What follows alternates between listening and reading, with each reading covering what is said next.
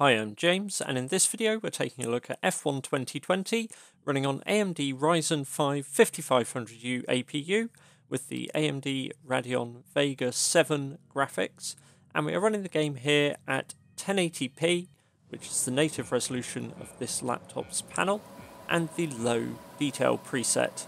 And to test things first of all, I took what I consider to be one of the tougher tests of the game and ran it in the benchmark mode around the Monaco circuit in heavy rain.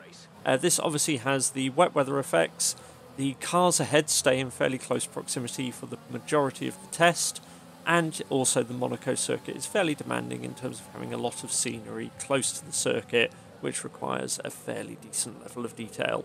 And what we can see here is that we do get some drops into the mid to high 30 frames per second region, but overall our average frame rate is 41 frames per second over this particular test run.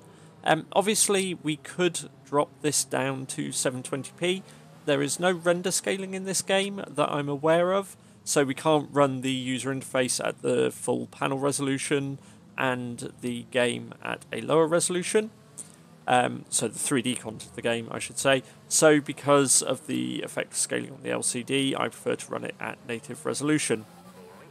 I would like to point out as well, I am capturing this with an Elgato HDMI capture card, so this recording isn't affecting the game performance. Um, even so, I then also took a look at the game running at the um, Austrian circuit in dry weather conditions, and we actually see similar performance here, not as different as I was perhaps expecting.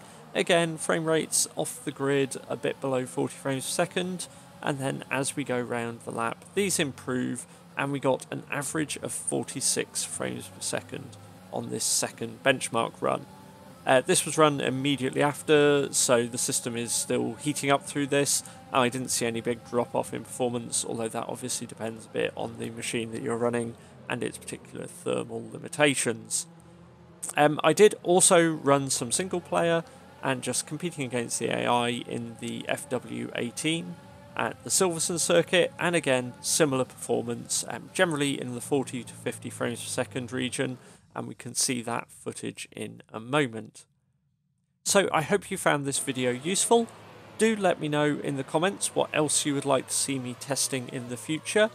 Hit subscribe if you would like to see more videos as we post them, and like if you found this helpful.